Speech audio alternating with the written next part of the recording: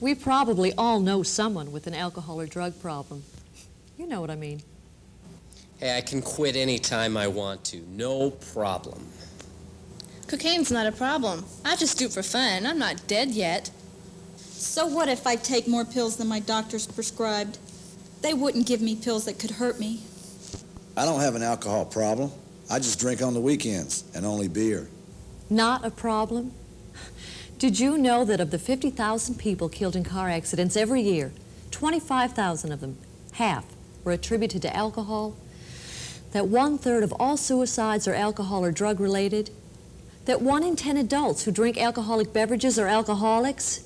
Not a problem that 73% of all high school students have admitted to using drugs. Alcoholism is a problem. So much that in 1950 the American Medical Association declared it a disease. Most people cannot recover from this life-threatening disease without treatment. There's a wide variety of treatment programs designed for you depending on your own personal needs. There's inpatient or outpatient care, group therapy or individual counseling.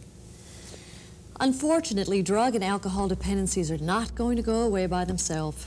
So if you have a problem or you know someone who does and want help, find a treatment program in the area where you live. Be a part of the solution